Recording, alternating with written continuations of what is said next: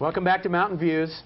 Right off the bat this evening, we are going to bring to the stage a healthcare specialist who is doing wonderful work for folks all over the Inter Intermountain West on behalf of low vision, extreme low vision problems. I'd like to say hello and welcome to the stage Dr. Jared Cooper. Jared, how are you? Thank you, Terry. Good Very to see you. Good nice to see you, to see you.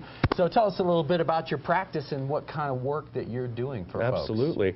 I am a doctor that's a low vision specialist, meaning that I work with people that have severe vision impairment.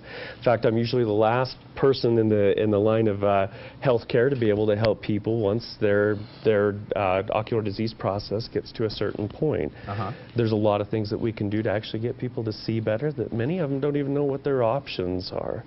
And so that's what I'm doing at this point. I see. So do you work in conjunction with folks who are bringing uh, referrals to you of people that are kind of at the end of the line, I as, do. It, as it I- were, vision-wise? Absolutely. Yes.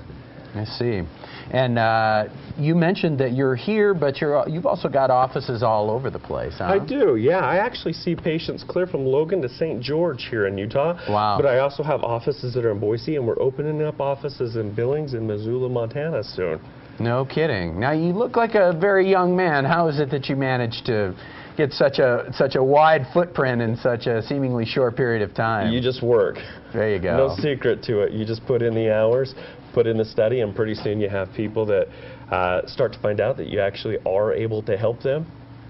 And uh, it seems like all of a sudden the business grows and the patients grow and people are happy. I would imagine that word travels when, when somebody has a, a breakthrough experience of It being able to experience the world visually again. It definitely does. Many of them, like I said, have they don't realize that there's an option out there to improve and enhance their vision.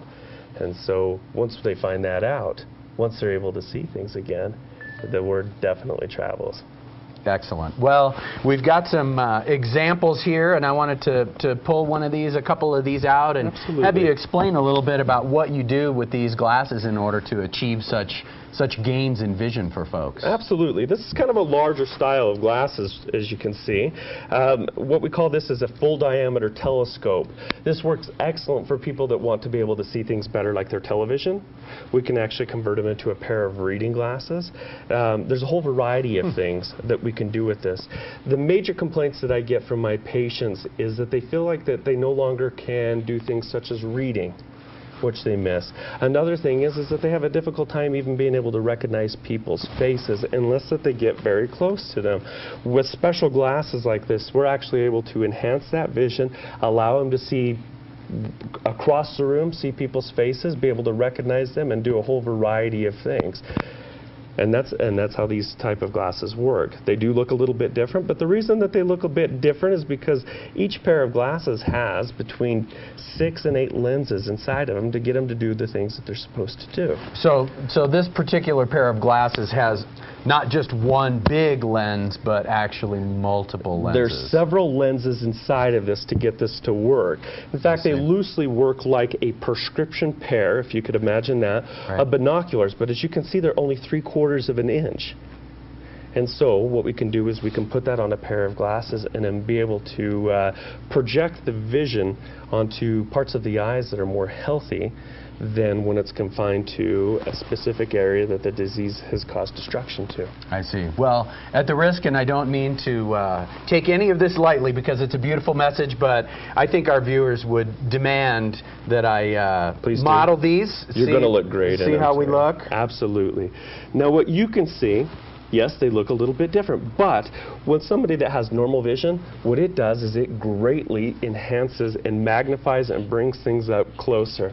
Now, to somebody that has an eye disease such as macular degeneration, it is actually projecting the vision onto healthier portions of the eye. Well, that's interesting. So it's really kind of redirecting.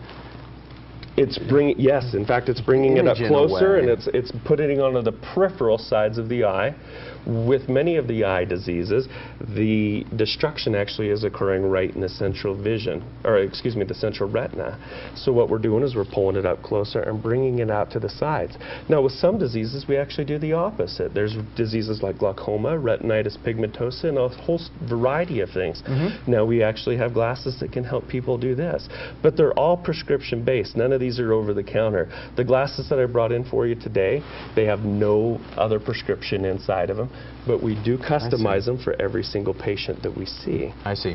Now, do you do the fabrication on these glasses yourself, or is this a? Or do you more design the the need and then farm out the the construction, or how does that work? Absolutely. What I do is I start to calculate the prescription, the amount of magnification, and what we do is we have a company that does all the construction of it. I just present them with what the prescription is and what they need to do to, to get people to see better. I see. This one won't fit very good because that's a demo. It's a beautiful frame if you It is a look nice at it. frame. I, you know, as I far picked as these up because I, I felt somehow attracted to them. they don't look bad. This, Terry, is a little bit different. As you can see, these telescopes are quite a bit smaller.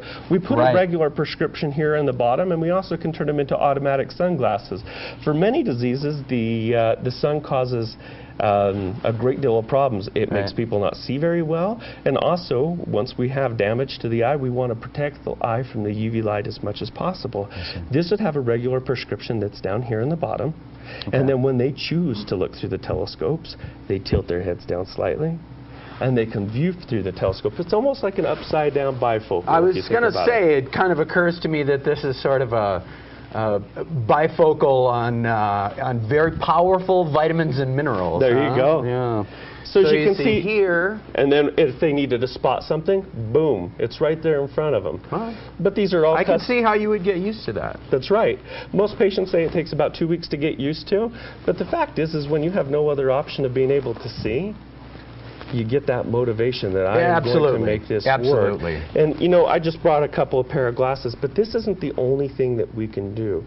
Um, there's a whole host and a whole variety of things that we can do to help people with severe vision loss be able to do the activities that they simply want to be able to do. And that's what low vision is. It means not having the vision to be able to do your daily activities, which is quite frustrating for people. Absolutely, absolutely. So tell us where people can learn more about you, where you're at in this area, where people can come to see you in person. You got it. Um, I have several offices throughout Utah. Um, but I also, interesting enough, here in Utah, I do house calls.